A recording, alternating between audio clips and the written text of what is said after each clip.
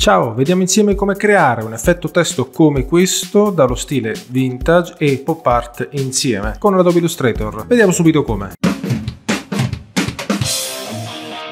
Una volta creato il nostro file aperta l'interfaccia di Illustrator, selezioniamo un font molto netto e pulito come potrebbe essere Open Sans, diamogli una dimensione abbastanza grande in modo da ricoprire gran parte dell'area di lavoro e scriviamo la nostra parola. Dopodiché possiamo eventualmente andare a modificare dal pannellino carattere eventualmente la distanza tra le varie lettere che compongono la parola oppure lasciare tutto così come di default. Dopodiché assicuriamoci di dare un colore di riempimento standard che potrebbe essere nero. Per comodità potremmo andare nel pannello livelli e dal menu in alto alto a destra, andare su opzioni pannello, dopodiché su altra e diamo per esempio una dimensione di 60 pixel per quanto riguarda la visualizzazione delle icone, quindi dei vari livelli nel pannello livelli. Questo per gestire meglio tutti i livelli di lavorazione.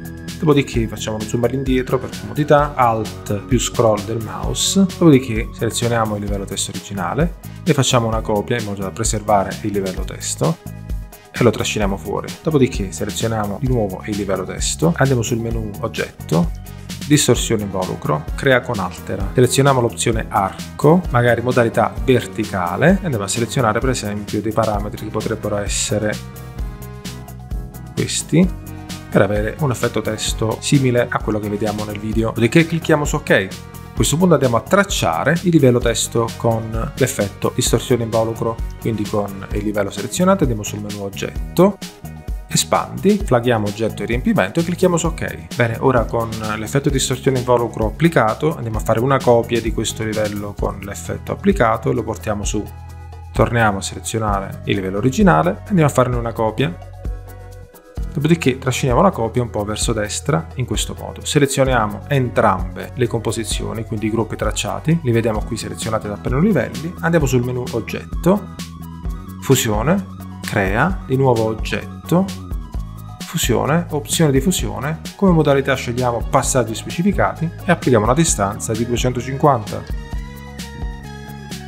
Ora andiamo sul livello copiato in precedenza, andiamo a dare per esempio un colore diverso di riempimento, io l'ho fatto aprendo con doppio clic il colore principale, andiamo a dare per esempio questo arancione, poi trasciniamo questo livello qui in modo da farlo compaciare con la parte frontale. Possiamo anche spostarlo manualmente in questo modo. Nascondiamo il livello testo originale dopodiché dovremo andare ad applicare un riempimento al livello testo che si trova appunto sopra quindi nella parte superiore. Qui abbiamo due strade o selezioniamo il livello testo poi dal menu campioni andiamo a selezionare qui nella parte bassa il riempimento di tipo pattern, poi grafica base, eventualmente grafica base pattern 2, ce ne accorgiamo perché lì praticamente abbiamo la possibilità di scegliere tutta una serie di riempimenti composti appunto da puntini che si distribuiscono in varie modalità. Qui possiamo scegliere la modalità che preferiamo. Oppure andiamo a disegnare un rettangolo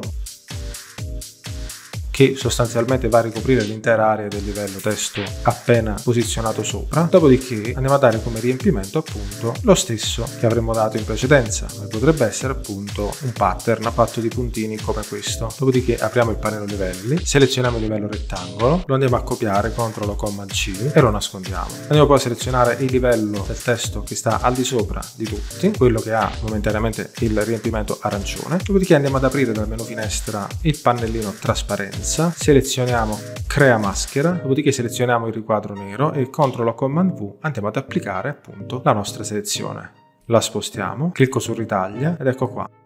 La maschera viene applicata e la possiamo andare a ridimensionare secondo quelle che sono le nostre esigenze, in modo da far rientrare l'effetto esattamente come vogliamo noi e distribuirlo esattamente come desideriamo. Torno a cliccare sul livello in modo da interrompere le modifiche della maschera. Ho terminato il mio effetto, posso andare a selezionare tutta la composizione, eventualmente andarla a ridimensionare con Shift più clic del mouse, trascinando praticamente una delle ancore che si trovano negli angoli, in modo da ridimensionarla in modo proporzionale. A questo punto non mi resterà che selezionare il tutto, tasto destro, raggruppa, oppure CTRL Command G, in modo da avere un unico livello che contiene tutti i livelli lavorati, che insieme costituiscono la composizione effetto vintage pop pop art che abbiamo appena creato. A questo punto non ci resterà che selezionarla, tasto destro, esporta selezione, dare un nome alla nostra selezione, dare una destinazione ed eventualmente un formato diverso che potrebbe essere anche PDF se vogliamo mantenere la possibilità di editare la tracciabilità e quindi la vettorialità del nostro file, oppure PNG o JPEG se vogliamo destinare ad esempio questo file per il web. Cliccheremo su esporta risorsa e avremo terminato. Quello che Illustrator ci permette di realizzare con i testi è praticamente qualcosa di infinito, nel senso che ci sono innumerevoli soluzioni creative che possiamo adottare per le nostre esigenze. Ad esempio, possiamo creare in modo altamente efficace un testo 3D isometrico per le nostre grafiche in modo assolutamente e totalmente personalizzabile. Ti lascio qui il video in cui dimostro come realizzare questa tecnica e diventarne padrone in pochi semplici step. Ciao, grazie e al prossimo video!